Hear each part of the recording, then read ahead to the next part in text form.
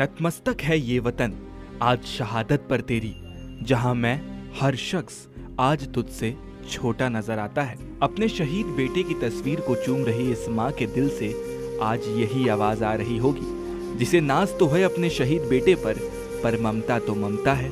आखिर कैसे न पसीजे उसके अलविदा कह जाने पर। बस्तर में नासूर बने नक्सलवाद से न जाने कितनों के घर उजड़े हों। नक्सलियों के हर खूनी खेल के बाद जो तस्वीर सामने आती है, वो कुछ ऐसी ही होती है।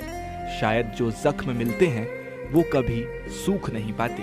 ये तस्वीर है सुकमा ज़िले के सीआरपीएफ कैंप की, जहाँ 223 बटालियन के 11वें स्थापना दिवस के मौके पर शहीदों की स्मृति में एक कार्यक्रम रखा गया था, जिसमें साल 2014 में कसलपाड़ नक्सली हमले में शहीद हुए जवानों की तस्वीरें भी लगाई गई थी। और इन्हीं तस्वीरों में किसी का भाई, किसी का बेटा, किसी का पति तो किसी का पिता शामिल था।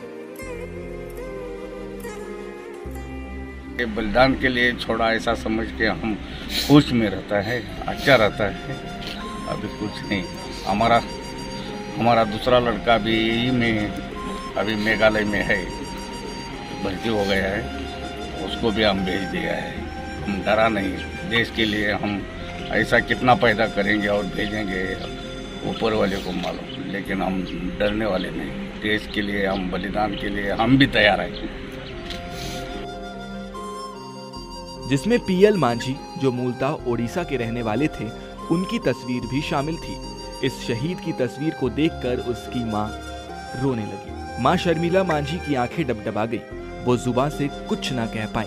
कभी तस्वीर को हाथों में रुमाल से पोछती तो कभी अपनी डबडबाई आँखों को पोछती। एक माँ का दर्द शायद शब्दों में हम भी बयान न कर सके। अपने बेटे की शहादत पर फक्र करते करते माँ रो रही थी, और उसे कौन रोक सकता था? पास खड़े अफसर और जवान जो शर्मिला को देख रहे थे, मानो वक्त भी उनका इम्तिहान ले रहा हो। इस कार्यक्रम में कई शहीदों के परिजन पहुँचे थे। सबकी व्यथा एक सी थी।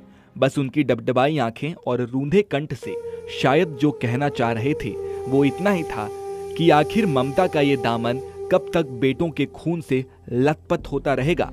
ये सवाल अक्सर मन में उठता है, हर दिन उठता है।